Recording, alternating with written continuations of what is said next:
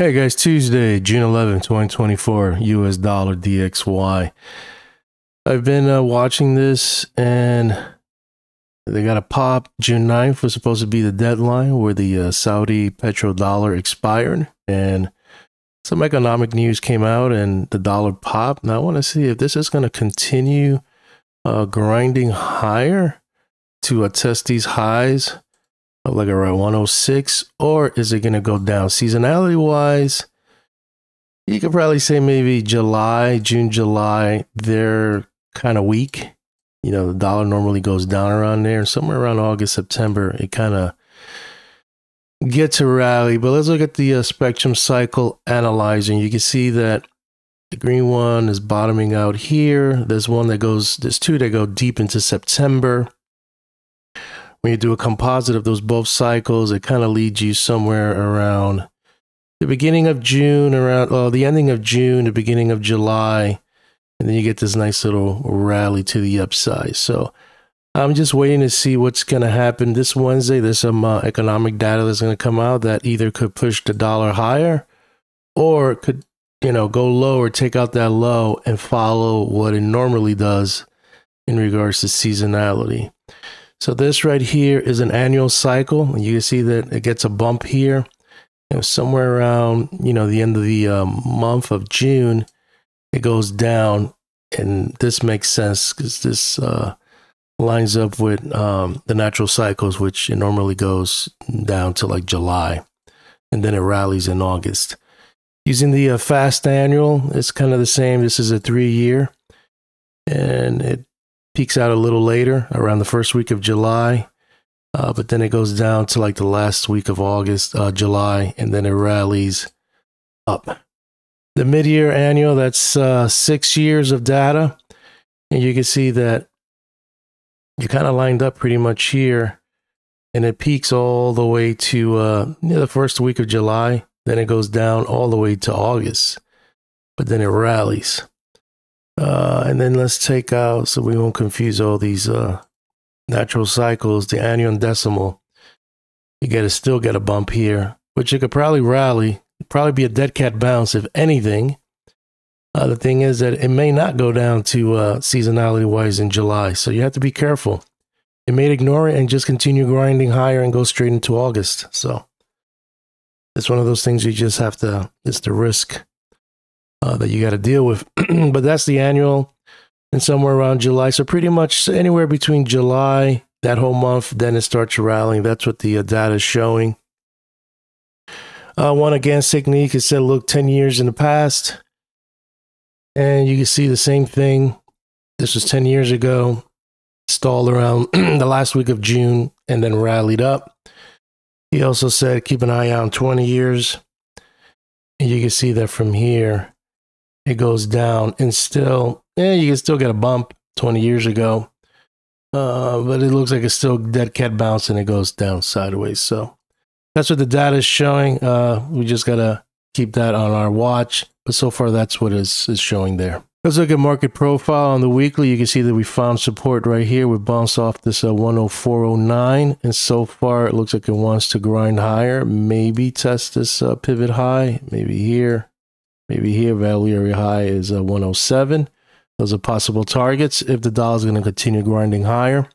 Just be aware of that Wednesday, there's some data coming out that could affect the dollar. Also, on the uh, daily market profile, you have a target of 105, oh, uh, 105.60. You can see that it's uh, very choppy here. Uh, but we got to take out that high right here and then kiss that. And if we could get above here, it's obviously going to go and test uh, 106. Uh, so, so far looks like a correction and it looks like it wants to trend higher. But we know that July is weak. So if something comes out Wednesday that it's negative or whatever it is, whatever it is, because the market, it's weird. Sometimes when it's negative, it's positive. When it's positive, it's negative. But whatever the number is and the sentiment and the, the, uh, the people, the traders take it however they take it, it's either going to go down or up. Let's look at our simple glance chart. And so far, it's in the mobo band. You at least got to clear out 105.75. Uh, found support at the point of control. MACD is positive. Uh, on the monthly is positive. You're bouncing. You haven't cleared out the mobos, but you're you're pushing higher. Uh, you're above both clouds, and you're in the cloud on the daily. So you're above the 20, the 50, and it looks like MACD is positive. PPS buy signal. We don't have a buy signal on the uh, weekly yet, but we have it on the monthly. But so far, we got to clear the cloud out. We need at least get out of 105.35 but you got the linear regression channel pointing down here. So it's going to be interesting once we kiss that. It's kind of like nat gas, where, where we are where nat gas is.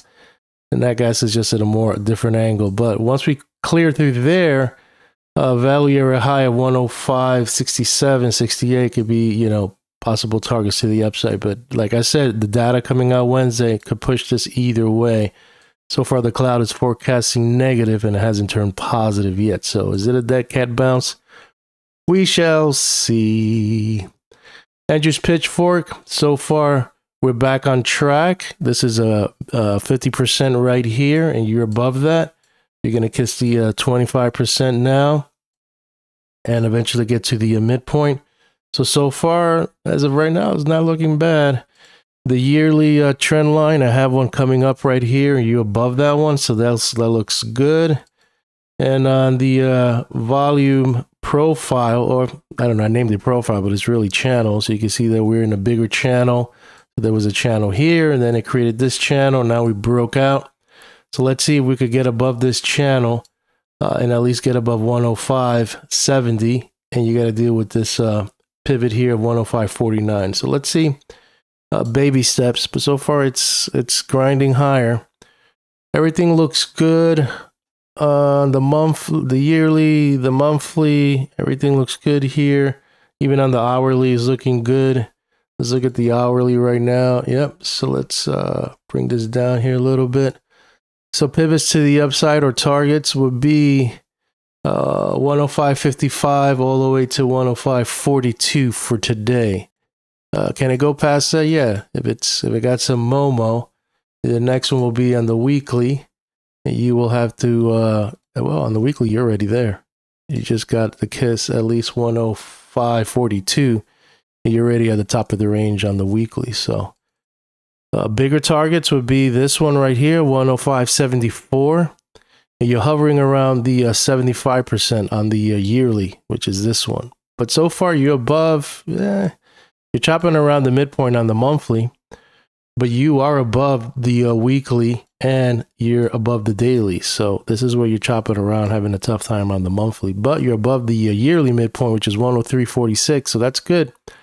We could get above that 105.35 uh, or at least 105.42. You got a fighting chance to get to this pivot. And this is where we've been stalling right here. This uh, 106.41 has been tough. But if it could break through that, you could probably kiss the uh, high of last year, which is 107.38, 34. I'm going to sign out. Hopefully you like this video, and I'll keep you posted on my thoughts on the US dollar.